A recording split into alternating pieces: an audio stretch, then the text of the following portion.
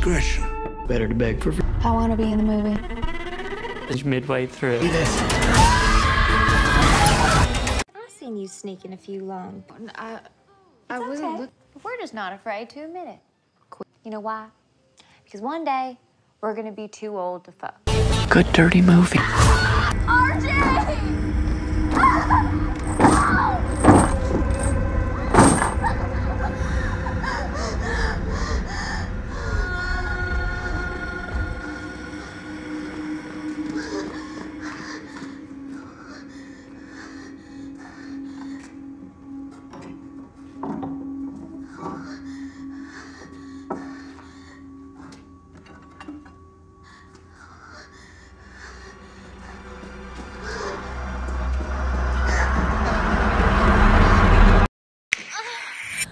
You help him with all his films? Yeah.